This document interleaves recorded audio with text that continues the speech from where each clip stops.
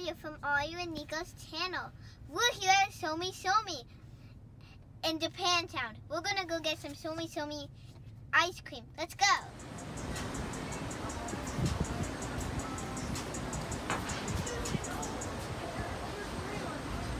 Okay. Came back from Somi Somi.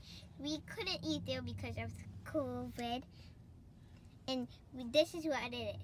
So it's a fishy tail with custard inside. And then you pick out what ice cream flavor you want. And some and they put a cookie right here. And it comes with a spoon. It's super yummy. It's my favorite. It's my favorite part is the tail.